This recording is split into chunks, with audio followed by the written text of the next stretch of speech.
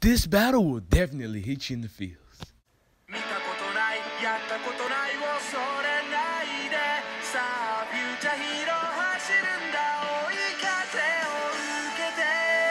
Ah, Hello, everyone. Treman One here, and welcome to the second round of the Alola League review.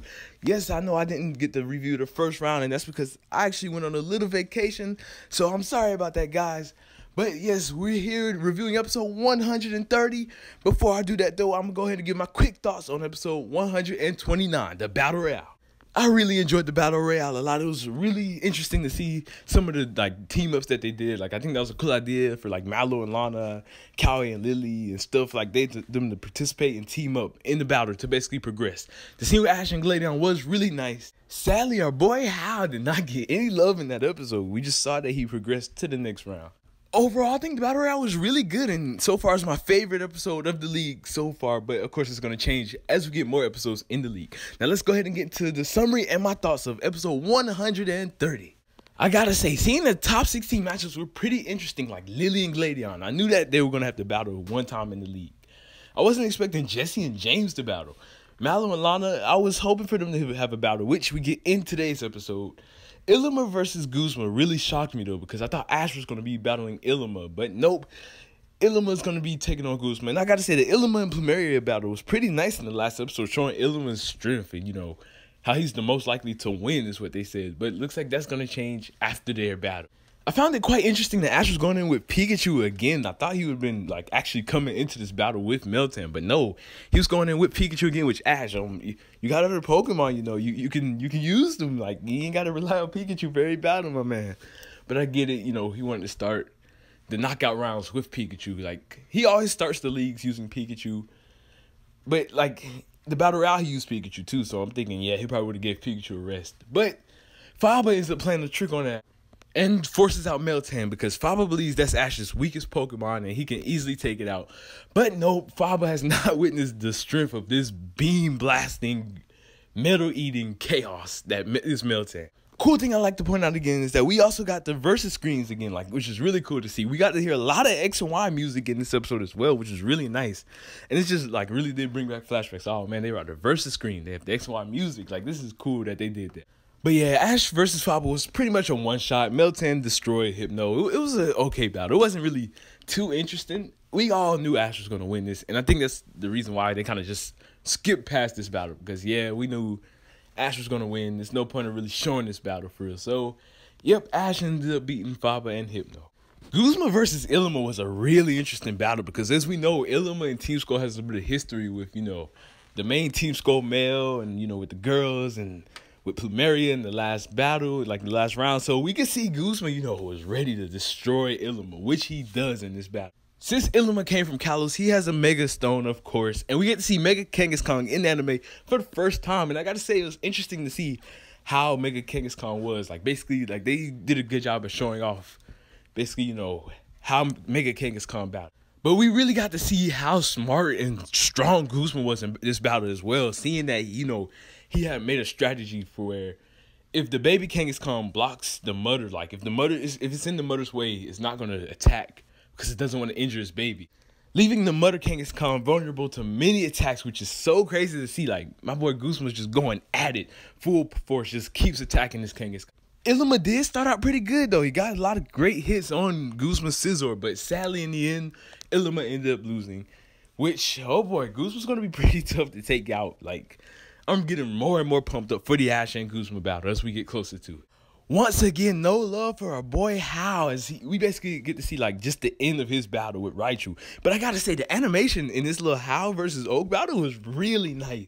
Like the movements of Hau and Oak were just so fluid, and the Pokemon as well. It was like really out there. Like they really brought out the animation in this scene, which got me really excited for the Ash versus Hau battle because oh boy, like I can tell the animation is going to be pretty clean throughout that battle, especially since it's going to be an aerial battle between Rowlet and Decidueye. And of course, Hau ends up winning easily against Oaks, Alolan Exeggutor. And we get to the main course of this episode. The battle between the besties, Mallow versus Lana. And as y'all know, I'm a big Mallow fan, so of course I was rooting for Mallow throughout this entire battle. Which this battle really does show that, you know, Mallow really isn't a battler and Lana really is serious about this because For one, Mallow couldn't really land any attacks on Primarina for the longest, even though she has the type advantage.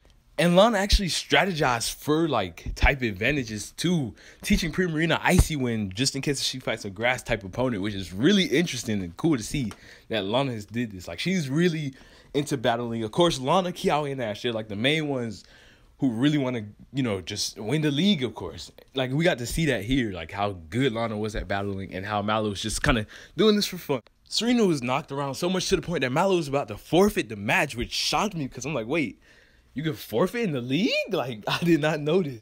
And I guess it's like Mallow said, okay, I know I'm not gonna win this, so good battle, Lana. Like it was fun. It was a fun thing that we did. So it was like, wow, just um, it was so crazy to me see that Mallow almost forfeit. What I loved about the interactions between Mallow and Lana here was that Lana was like, I know how much you care for others. You don't want Tsareena to push herself anymore and get hurt. But Tsareena actually wants to keep fighting, basically. Like it wants to fight alongside you and try and win this. So you got to keep going with your Pokemon. Like that was a really nice, touching moment for Mallow and Lana. And I really do love their friendship that they developed, like they've built throughout the entire series. We even get some nice flashbacks to all the battles and moments that Mallow and Tsareena had throughout the series, which is really cool. And pumps Mallow up to finish this battle, which I'm like, yes, let's do this. Go full power, Mallow. You can win this. Even Your Adventure starts playing through this battle, which I love this song, by the way. Like, this opening has to be one of my favorite Pokemon openings. So, you know, I was pumped watching this battle, hearing Your Adventure. Mallow and Tsareena finally become fully in sync in battle and master their Z move as well, which I was like, yes, let's go. And I thought Mallow actually was about to win this. But Lana pulls a really cool strategy and ends up using Oceanic Operetta to block the Bloom Doom beam. So basically, the Z moves clashed and Lana was okay. Like, I was like, whoa, that's actually pretty cool to see like the Z moves clash like that. We kind of got to see that with Ash versus Nanu too. So it's pretty interesting that they're using Z moves other than just like a one shotter. Like, they're using Z moves in many cool and different ways. And of course, after one more Aqua Jet, Tsareena is taken down, which I'm perfectly okay with, to be honest. Like, Lana I already knew Lana was going to win actually because how dedicated she was to battling and winning. Like we've seen throughout the series, she's pretty much a good battler and she wants to battle. So I kind of could tell this was going to happen. But Mallow did a great job, and I actually do love the development that she went through in this episode with Tsareena. Like it shows like Lana wants to show her like never give up. Even before the battle, Lana was like, let's give it our all. And I think Mallow was almost about to give up. So it's really nice to see that Lana helped Mallow out in this moment and she finally mastered her Z move, which now everyone in the Sun and Moon group can use Z moves, which is amazing. Even Ulu made it to see Mallow's battle and was cheering her on as well, which is really nice, a really nice moment, I got to say. Once again, Sun and Moon does a great job with hitting you with like emotional episodes, especially like this one in the league at that. Like the story about the Mallow versus Lana battle was really good, and I gotta say, this was an amazing battle. Like it has me really excited to see what other character matches we'll have and what amazing battles like Lillie versus Gladion especially because I can tell there's gonna be a lot of emotions in that battle. And that's the last battle of the top 16 rounds too. So oh boy, I'm ready for that. And Jesse versus James actually, that's gonna be really emotional too, especially because like, you know, they, they both want to enter and they both want to win, but they gotta one and only one of them can make it out. So we gotta wait and see. One really cool thing I liked about the league stadium as well is that that grow, those grassy areas actually for the Pokemon to sit. So like that's actually kind of cool that they have like areas for the Pokemon to sit and watch the battles too. Like I think that was a really good idea for Professor Kukui. I was wondering what what's the point of the grass? Is it just design or something? Maybe make make it look a little fancy, but as we see, that grass is for the Pokemon, which is cool. Also, Guzma is really being shown to be a really big threat. Like I actually do want to see Guzma maybe battle Kiawe too, and you know destroy him. Like we've seen that Guzma can take out Z- Mega Mega Evolution. Like I want to see if Guzma can easily take out somebody who uses a Z move. Like if Kiawe uses Inferno Overdrive, and Guzma's Pokemon still stands after, like that would be really interesting. And it's really pumping for the Ash versus Guzma fight, especially if that's in the finals. Like my goodness, Sun and Moon.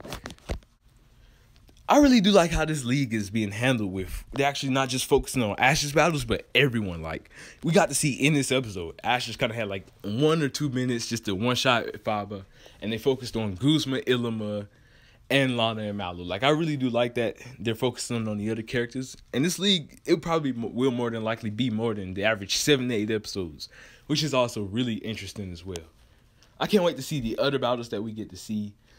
My guess for the like rest of the rounds is that Sophocles will beat Mina, Kiawe will beat Acerola, Gladion will beat Lillie, and Jesse will beat James. Those are my predictions for the next round. But of course, we have to wait and see. Especially since Jesse's using Wobbuffet, I, I really feel like Jesse's gonna win this, and that the next round will be double battle. So since Jesse has two Pokemon, she'll be good for the next round. While James, sadly, he won't be because he only has Mareanie. But yeah, guys, in the comment section down below, let me know what y'all thought of this episode. What was your favorite battle from this episode? I would love to hear. And who what battle are you most excited for in the next episode? Thank you all for watching, and I hope you all enjoyed. Don't forget to leave a like and subscribe. Treman1. Peace out.